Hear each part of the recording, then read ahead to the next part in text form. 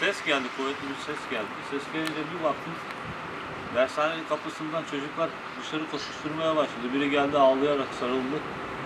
Abi dedi içeride biri dedi silah sıktı dedi. İçeri girdi silah sıktı dedi.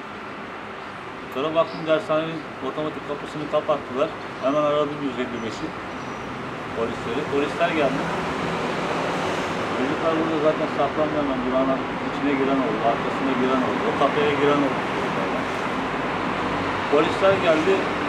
Bir 15-20 dakika burada uğraştı, teslim oldu. Sonra teslim olmuş. Pompalı tüfekle şahısı çıkardılar, arabaya bindirdiler. Arabanın içinde duruyor şu an.